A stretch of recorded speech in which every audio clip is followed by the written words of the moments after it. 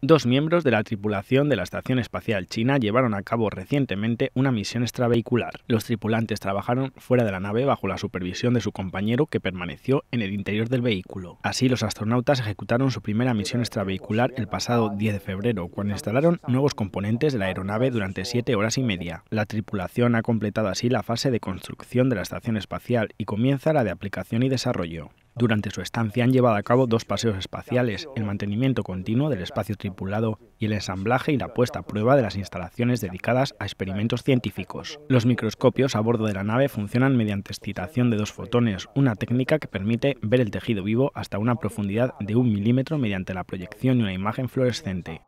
Con ello se ha logrado obtener imágenes tridimensionales de células de la piel de los tripulantes, lo que constituye una herramienta prometedora para el monitoreo de la salud de los astronautas en el futuro.